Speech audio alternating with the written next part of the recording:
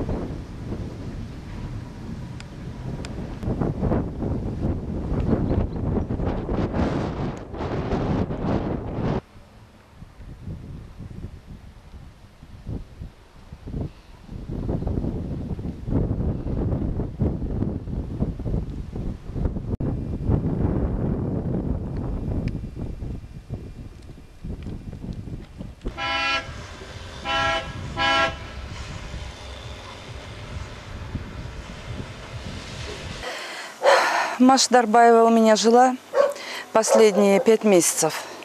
Мы с ней как бы начали жить вместе по обоюдному согласию. Маша высказала желание, чтобы жить с нами, а я не отказала ей. Ну, то есть у нас были хорошие отношения, дружеские, так сказать, семейные. Мы очень часто ездили к нам в деревню, где мы сейчас вот и находимся, на нашем подворье, так сказать, деревенском.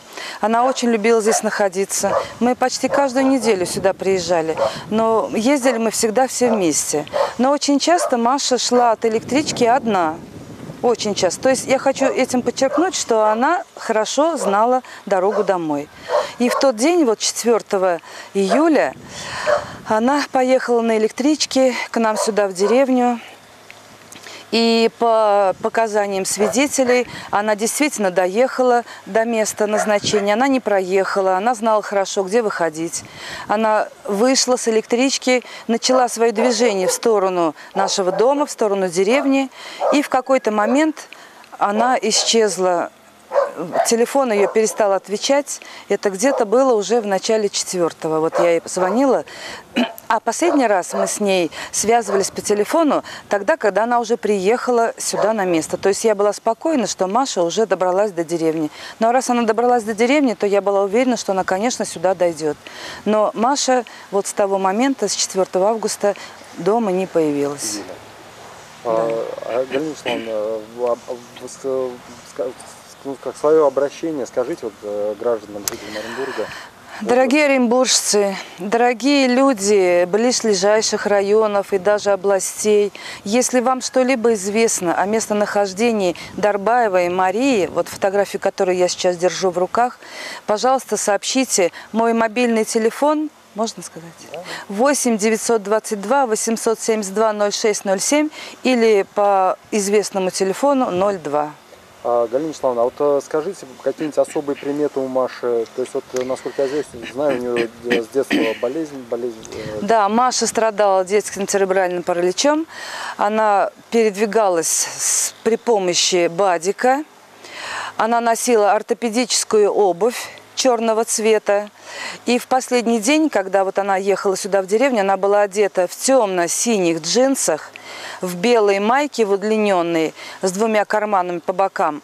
И была у нее еще маленькая сумочка только для телефона и для денег. Больше у нее ничего с собой не было в тот день. Пожалуйста, помогите, кто что-либо знает о местонахождении Дарбаевой Маши. Спасибо.